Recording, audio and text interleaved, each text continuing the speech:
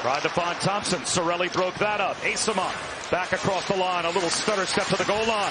Save made by Levi as he hugged the right post. As Tyson Jost will retreat to Connor Clifton. Around to Mattias Samuelsson. And an outlet passes. we are back at five aside. Jost in transition. Moving in. Score!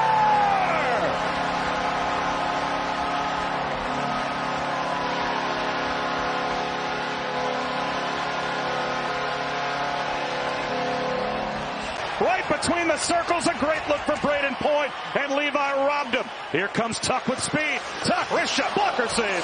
Made it the opposite end by Johansson. Cano with a drop pass. Brayden Point with a spin move. Gave it away to Skinner at the Buffalo line, and now Tuch gains the Tampa end. Tuch behind the net, centers a pass that's off the skates of Point, right back to Tuch. Up top, Power, shot pass down low, Skinner,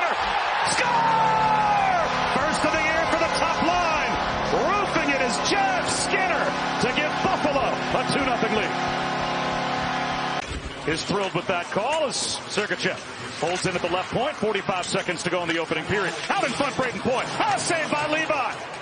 Brayden Point right in front. And Levi squared up and made the stop. Around Nick Paul. Into the bumper to Tuch. Back to Cozens. Out in front. And that pass deflected off the outside of the net. A missed connection for Skinner. What a keep by Dahlin. Catches it out of midair. And that puck was flying.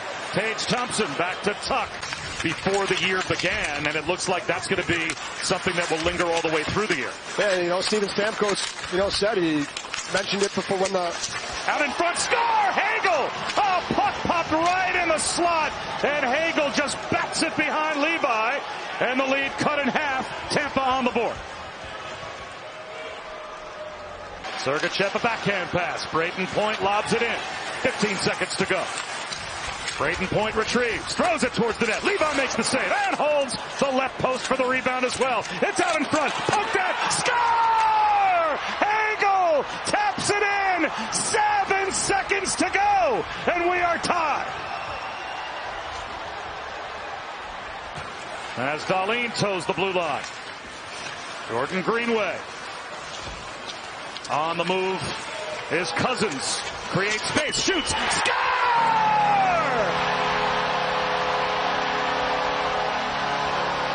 First win of the season for the Buffalo Sabres as Cozens ends it in overtime.